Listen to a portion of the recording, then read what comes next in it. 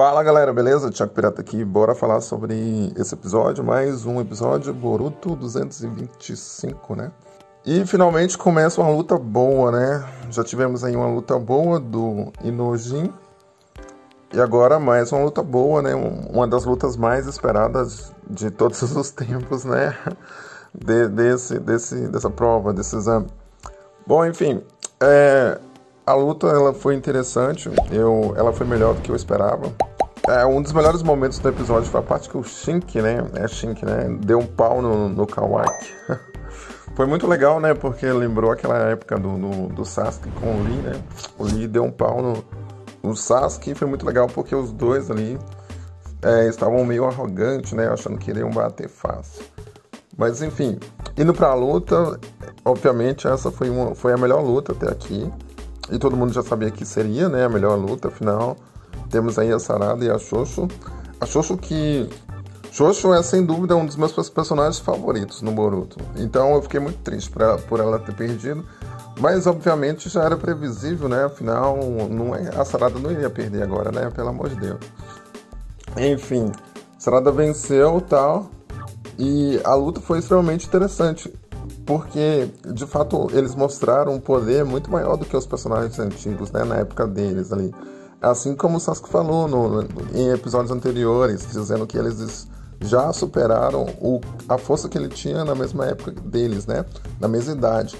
E isso obviamente é muito notório, todo mundo concorda com isso, mas é muito legal ver isso na prática, né?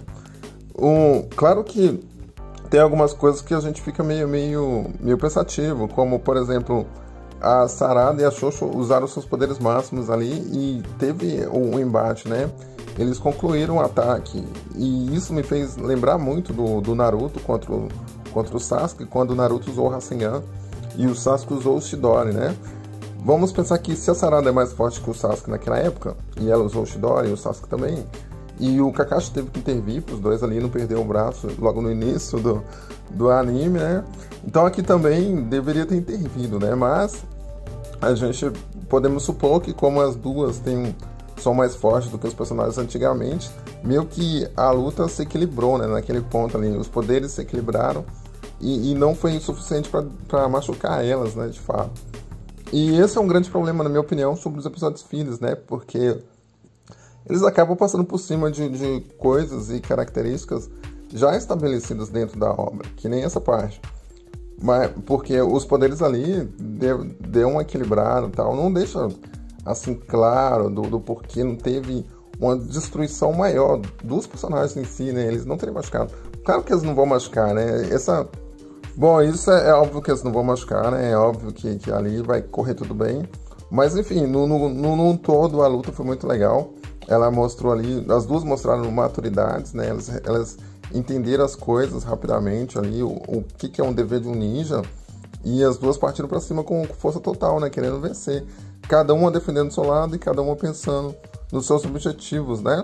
Enfim, depois da luta tivemos a resolução do, da questão do Amado, né? Que eu achei muito estranha, porque o Amado, ele realmente, ele, ele, ele não aceitou, né? Obviamente, ele já era esperado que ele não iria aceitar. Pelo menos eu achei que não, porque isso é, seria muito estranho se ele aceitasse entrar ali no, no, no outro.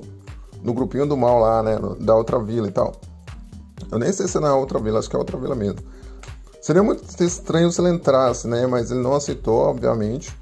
Ele, e ele foi muito bem. Ele, ele, pra mim, ele convenceu. Ele convenceu de que ele não, não tava afim e tal, que ele tinha uma dívida com Konoha, que ele queria ficar Konoha. E eu, eu achei ele muito ator ali, muito, ele foi muito bem.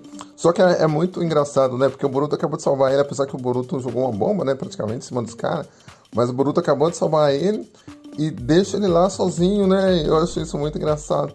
Deixa o Amado sozinho ali. É, pra ir embora, né? Já que ele tava atrasado pra prova. Isso aí eu acho muito engraçado porque o Amado é, ele é praticamente um velhinho, né? Ele é quase um velho já, um velhinho. E ali ele vai se cuidar agora sozinho contra aquele, aquele monte de capanga. Apesar que eu acho que os capangas já era, né? Porque aquela bomba foi bem, bem, no meio ali. Mas enfim, mas enfim, foi, foi engraçado, né? Imaginar que o Amado agora tá, tá por ele mesmo, né? E também é muito estranho imaginar que o Amado não tinha ninguém observando ele, né? Já que no mangá deixa claro que o Sai tá cuidando disso. O que é muito estranho, né? Ver que o Amado foi raptado, mesmo, mesmo o Sai tomando conta disso. O que mostra que não está conectado, não está 100% conectado o mangá e o anime. É isso que eu sempre falo, e é isso que eu acho muito, muito estranho, né? Enfim, deixa o seu like aí, se inscreva para curtir as próximas análises, né? Compartilha para aumentar a nossa família. E até a próxima. Um forte abraço a todos e tchau.